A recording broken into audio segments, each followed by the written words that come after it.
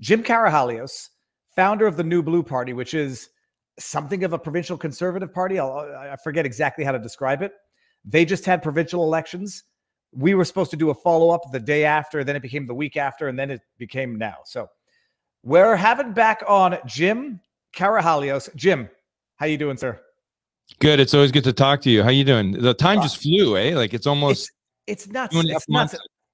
Three. Uh, we were supposed to do it the day after. Something came up. Then you got you had a cold. A cold. I don't remember what it was. And then we just then you know, life happens. Um. So first of all, uh, for, for anybody who doesn't know you, who are you? What's the New Blue Party? And then what happened to the election? Provincial party in Ontario uh, founded by my wife and I, uh, Belinda, the former MPP for the riding at Cambridge. And we ran up against the conservative establishment with things like axe the carbon tax, with things like fighting internal party voter fraud, the provincial conservative party, and shenanigans in the federal conservative party. If only Roman was in a free and fair election for leader, then we would see what people had to say about uh, his ideas, but he's not because the conservative party they already know who's going to be the leader of that party. And then my wife took the lead against Doug Ford's COVID policies, voted against his his lockdown bill, and uh, she got kicked out. We both got kicked out of the party. 19 others on the Cambridge Riding Association for the PC party got kicked out. And a year and a half ago, we started the New Blue Party of Ontario. And uh, we've been we worked really hard to get 124 candidates registered in our first campaign. I fought through bone cancer in my femur. I was laid out for uh, most of 2021, the latter part of 2020. Got back on my feet in the fall. Wasn't even fully walking again. Got right on the campaign by the fall and new year of 2022. We were uh, um, approving candidates, putting it in place, and we got through our first election campaign. I know Viva, you weren't happy with the results because Belinda I, didn't retain her seats. Nobody, and you know Belinda, funny? Sidebar, sidebar.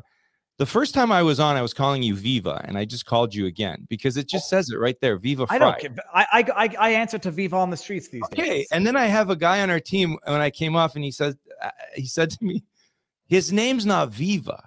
And I'm like, I know his name's not Viva. well, so I, it's like right there, Viva Frei. And I want to. Jim, a lot of people for two years when they discovered the channel when it started getting big thought my name was Viva. Then said, and then they said, "Who's David?" in the chat. I was like, "Dude, I'm David," and everyone felt. Um, yeah, no, Jim, I, I was disappointed, and I, I Belinda didn't uh, re- retain her seat. I, from what I understand, you didn't get a seat uh, in Ontario. I appreciate everything that goes into starting a new party, getting a full slate, getting a certain amount of, of votes. I was I was disappointed when the PPC didn't get one seat across Canada, but got you know close to a million votes, because I'm I'm I'm childish. Uh, I don't have patience, and I don't uh, really like playing the political game. But tell us why. For those of us out there like me who are disappointed, they see all the work you put in, the hell you had to go through, despite health issues. You ran it, you put everything you had into it, didn't get a seat. Tell us why we should not be upset. So it was a window of 18 months, and we really were not operating at full steam ahead for those 18 months, obviously, because I was sick and you're building a party and to get 124 candidates in place without any institutional support, right? Like we didn't have, it was great to see guys like Roman follow us and finally agree to be against the carbon tax after initially being for it. And he followed Belinda's lead and he came out against the lockdowns when he voted in favor of it.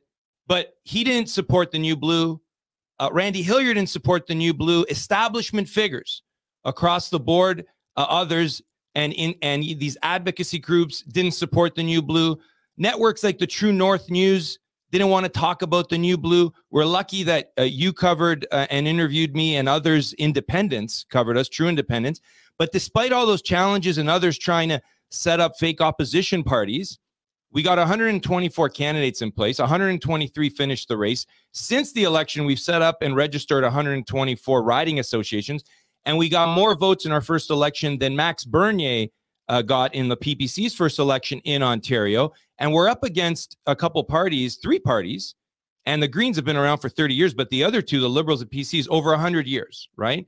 And so our first challenge is people have to know uh, who the new Blue Party is.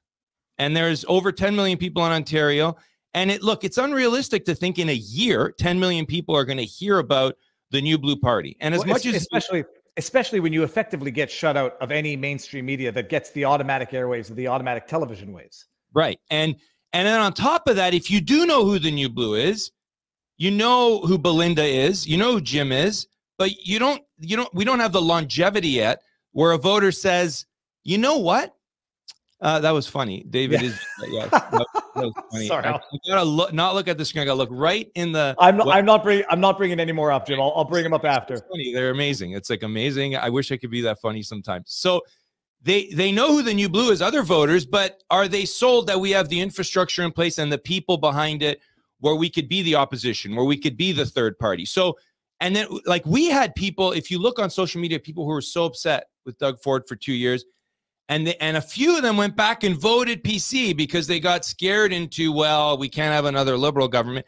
So a lot of people don't know that the PCs are doing exactly the same as the liberals, and we have to work through that. And that's not a quick fix. As much as I, we want to be in there as the opposition or the third party in our first election in a year, we're running against some brands that uh, have been around for a really long time. We got more votes in our first election than any party since the 1930s.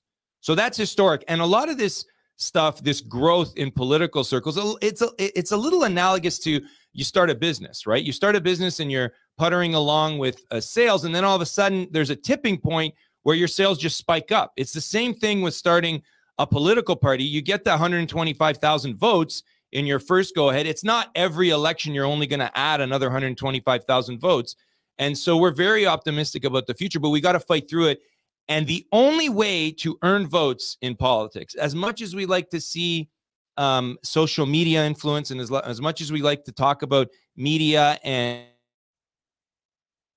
no. and social media, this is all important. But someone who's watching you right now is going to uh, have the clincher to vote New Blue if they have a conversation with someone who's already on our team or supporting us. And that will clinch it for them. And that takes time, and there will be a tipping point, and we got to keep working through it. But even though we don't have a seat. We are going to continue to do what we've done for years before Belinda was elected. In the first two years that Belinda was an MPP, and then when she got kicked out, and we didn't have the New Blue Party set up, which is challenge the establishment brass, the left wing politics in Ontario, and that's going to help uh, change the narrative across Canada. We did the Axe the Carbon Tax campaign. Pierre Poilievre wasn't supporting it back then. He was quiet on Axe the Carbon Tax. Now he's running a leadership and his tagline is Axe the carbon tax. We've pressured the Ford PCs over the last two years to reverse course on policies. They are, they're going to do it quietly. They're not going to say, "Oh yeah, we changed course because of this new party called the New Blue." Of course not. And you see other politicians like you had Roman, who've come on side after the fact. He's not going to talk about us. Not going to say Belinda or Jim. But we're going to keep challenging uh, the narrative, changing the narrative, and changing the course uh, for the next four years and and keep building up until the next election. And we're going to help those in the New Blue family who are running uh, for municipal politics. Uh, a lot of people step forward. Municipal elections coming up in October. Okay, that's good. Actually, that was my question: is provincial elections are they determined or can they be triggered early like federal in Ontario? Uh, they're determined uh, end of October, October 20 something. Um, the campaign's actually already on. It's it's interesting. Uh, provincial elections, uh, I think, start in like June or something, months in advance, and then there's a deadline uh, later this week to register across Ontario. But the election date is fixed. But there's no political parties in municipal elections, and um, uh, you know, a political party can't officially run candidates under a banner. Um, it's it's the way the left kind of disguises. Oh no no, municipal politics are just you know nonpartisan affairs. There's no political parties, but most of the trustee and councillor spots uh, end up getting taken by left wing ideologues uh, because a lot of conservatives don't run, and the left has the institution uh, in place to recruit candidates. So we've had a couple webinars. Uh, very quickly, other groups jumped forward, copied our webinars. We've reached out to people on our email list to encourage them to run. And after the end of this week, we'll see who's registered and try to give support to those running for trustee and running for council. So that's something else that's going on it's been very busy. Like it hasn't slowed down that, since the election. That was more the question. When when would be the next provincial elections uh, for MPPs? Is it so because years? Ford got a majority, yeah. and um, because the MPPs in his caucus are just going to toe the party line like they always do, um, we're looking at four years. Now, something can happen uh, earlier if a bunch of them uh, quit the PC uh, caucus and the PC party, and he goes down to a minority but we're looking at 2026. And um, I already look. It was like a couple weeks after the election, and we put out a graphic. I can't remember. We're talking about how Ford is going to just present the same left wing budget, a good budget if you're a liberal, which is exactly what he did last week.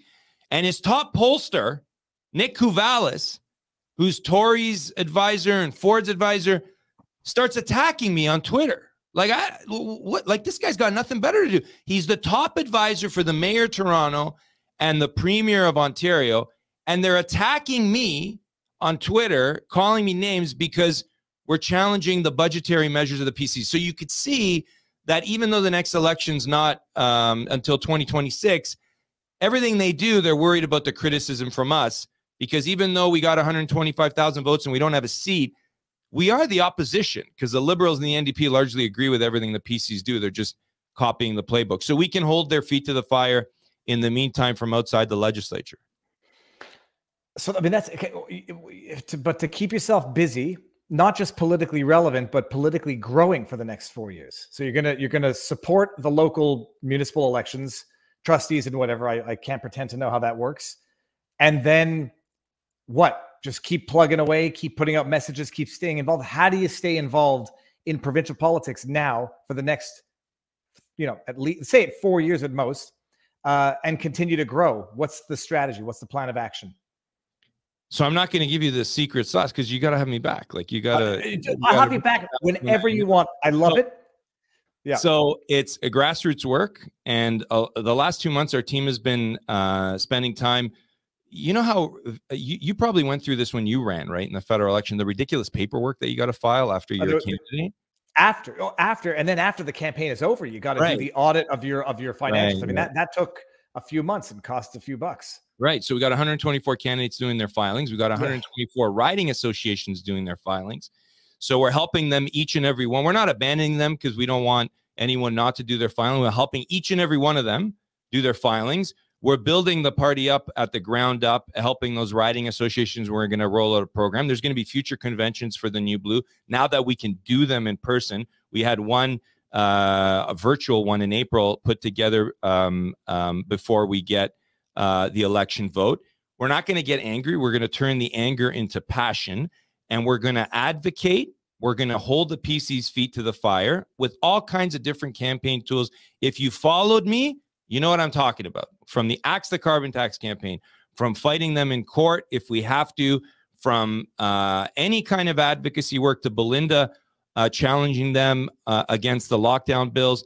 And we're going to do the grassroots thing and grow our party one riding association at a time, one voter at a time. And we're going to uh, unroll the, unveil the candidate selection process a lot earlier next time.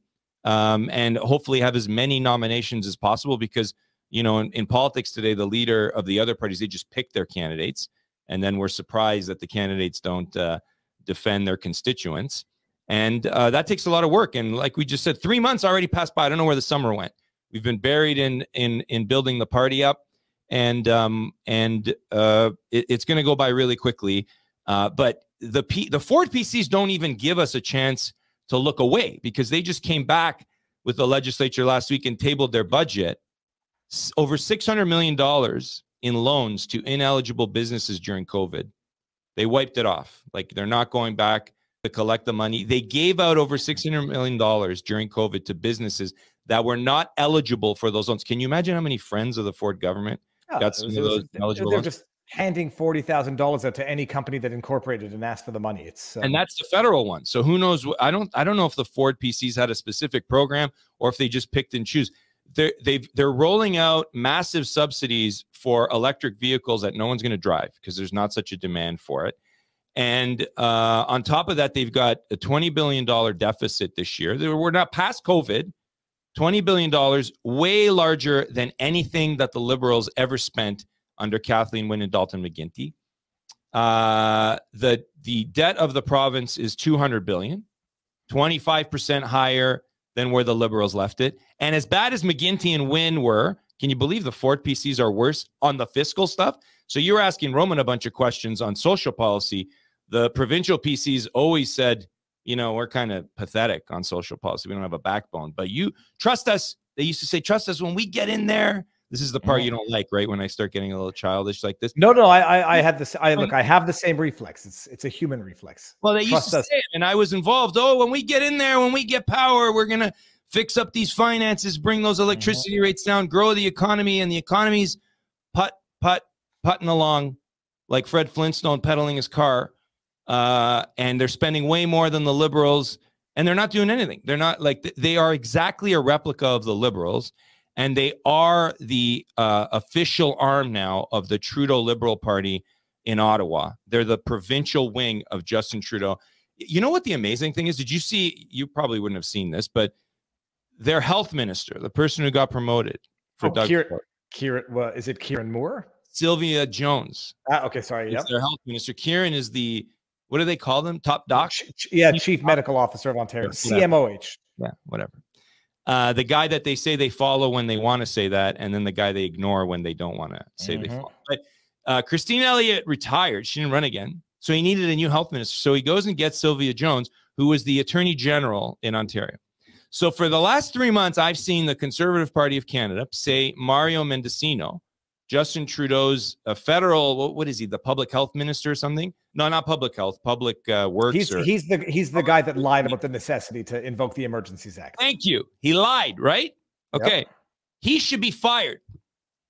But provincially, Sylvia Jones, who's the attorney general for the Ford PCs, she not only lied about the justification of bringing in the provincial emergency measures after the trucker convoy, she went one further. She made it law. She made those emergency uh, uh, moves into a permanent bill called Bill 100 law. But no one's calling for her to resign. They said the conservative establishment said, let's give her a promotion. Let's make her Mhm. the health minister because she did a bang up job. So if you're a, if Mario Mendicino was a PC MPP, he would have got a promotion. But because he's got the the red sign, oh, he lied. They did the same thing, but worse at the provincial level. And we're fighting against the tribalism of politics. You know it, right? Oh, blue must be good, red bad, same They're color. called We'll they're just- called they're called the PCs, progressive conservatives. It's as much of an oxymoron as a pregnant virgin or a, a jumbo shrimp. Progressive conservative conceptually don't go together unless they're just progressive. And Doug Ford is as liberal uh, as any liberal politician in the states, as compared to what conservatives traditionally meant. Jim, you you need to survive off funding, donations, and crowd support. Where do people find you? Well, obviously, I work, and New Blue Party of Ontario takes up most of my time. Um, but everything we, uh, all the donations we get for the New Blue Party goes into the party. So newblueontario.com, and we do have some staff, and we're very uh, fortunate for the support that we have. Uh, but before you become a donor, no pressure. Sign up on newblueontario.com so you can follow our emails. We have calls to action all the time. Uh, we'll let you know when the things that are going on in the Ontario legislature that no one else will tell you about. It, it's like a big secret. Oh, oh, uh, $600 million written off budget. No one wants to talk about it. Two years ago, they tried to pass a law in the Ontario legislature where they were going to implement a code of conduct on marriage officiants. And if the marriage officiant didn't follow the code of conduct, they would just take away their marriage license. First ever, an, an imposition on freedom of religion. No one said a word.